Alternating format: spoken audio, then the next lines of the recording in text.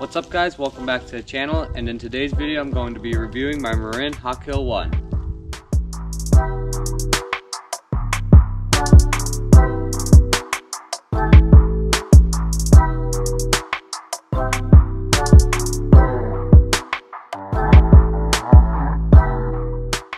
Alright, so this right here is my 2020 Marin Hawk Hill 1 in the purple colorway.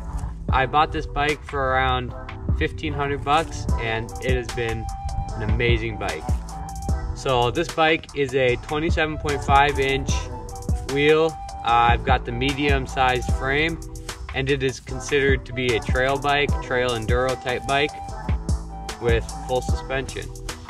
All right, so starting off here with the cockpit, you see we've got some 780 millimeter Marin bars with a 28 millimeter rise. And for the grips, we have a set of ODI Pro lock-ons.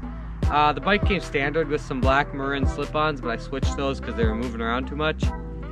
And then moving along, you can see we have a FSA headset with a Marin stem. On the right side here, we've got our Shimano brake with a Shimano Deore shifter lever. And then on the left side, we've got our Shimano brake and our PNW Rainier dropper post lever. Uh, the dropper post is something that didn't come standard with this bike, but I did invest in one and I'm really glad I did. So yeah, that's about it for the cockpit.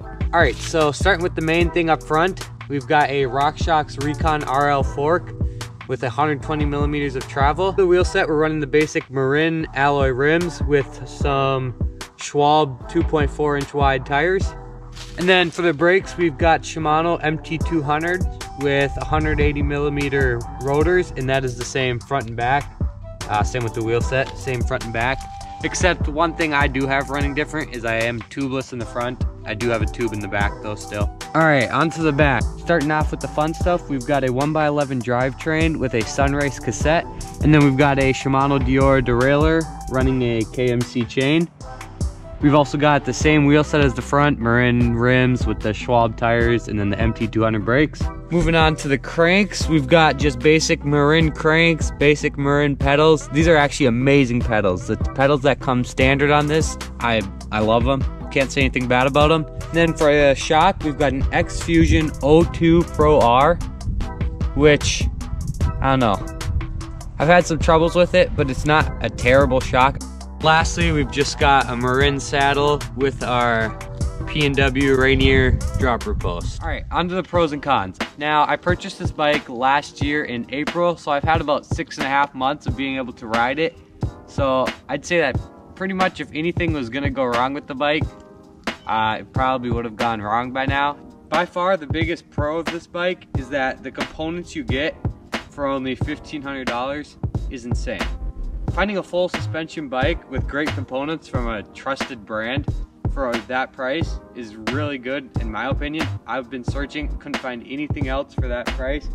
And I actually got this recommended to me by our local bike shop. Now, the only con I have about this bike is the X-Fusion rear shock. Now, I haven't had much problems with it. It's just not a great shock. But, you know, for the price you pay, $1,500 for the, all of it, you're getting what you pay for pretty much.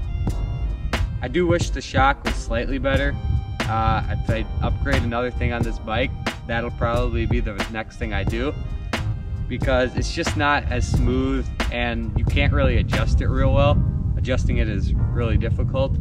Alright, so in conclusion, I'd say that if you're looking to upgrade from an entry-level hardtail and you're ready to get into some heavier mountain biking, this is a great beginner full suspension mountain bike and I definitely recommend it. So if you want to see me riding this bike, you can go check out any of the other videos on my channel. If you enjoyed this video, hit the like button and if you want to see more content, hit subscribe.